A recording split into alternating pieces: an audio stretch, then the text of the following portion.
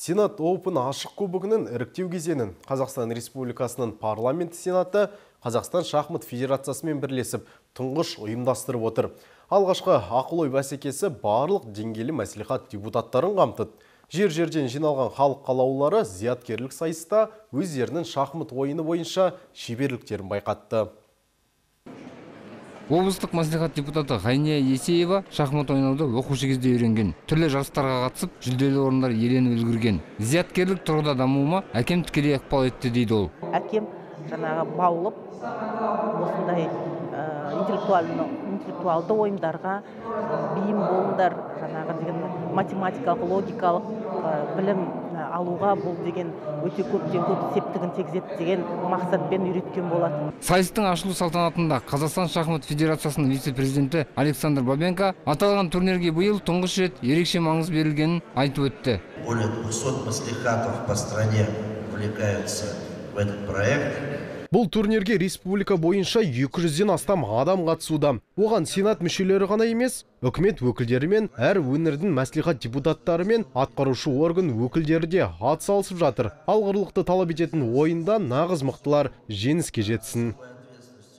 сіздердің алаңыңызда турнир өткізу ол үлкен жетістік және білесіздер ол енді сенатқа дейін барады яғни бүкіл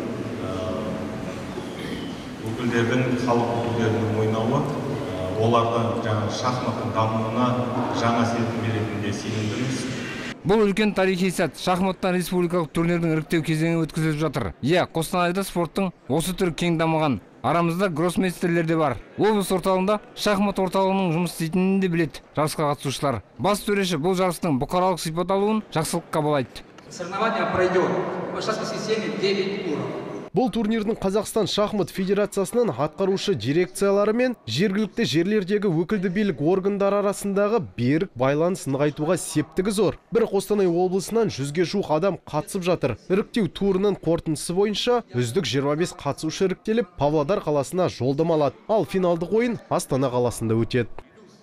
теңбіл тақта турнирінің ұйымдастырылғаны өте жақсы болды еліміздегі төтенше жағдайға байланысты бірнеше мәрте шегеріліп келді сабақты иненің сәті бүгін ғана түсіп отыр. Бұл сайыс ойды шынықтырумен қатар тынықтыруға да ықпал етеді. Әсіресе табиғи апатпен арпалысып шаршаған азаматтардың бір ауық бой жазуына мүмкіндік туғызып отыр дейді депутаттар. Айдын шайкенов руслан жабаев қостанай телеарнасы.